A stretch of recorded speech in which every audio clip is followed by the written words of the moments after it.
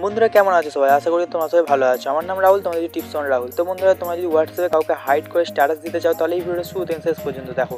তো বন্ধুরা ফার্স্টে তোমরা কী করবে? উপরে যে থ্রি ডট আছে, তো থ্রি ডটে ক্লিক করবে।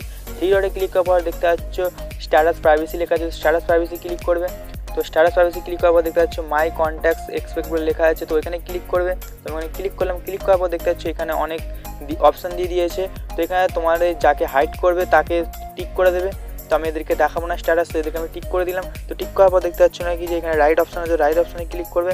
তো রাইট অপশানে ক্লিক করার পর এখানে যে নিচে ডান আছে, তো ডানে ক্লিক করবে। তো ডানে ক্লিক করার দেখতে পাচ্ছ এখানে আমাদের স্ট্যাটাস হাইট হয়ে গেছে। তো তোমরা যদি ওখানে স্ট্যাটাস দাও, তাহলে ওরা দেখতে পারবে না, যাদেরকে তুমি হাইট করবে। তো তোমরা সিম্পল এরমভাবে তোমরা করবে।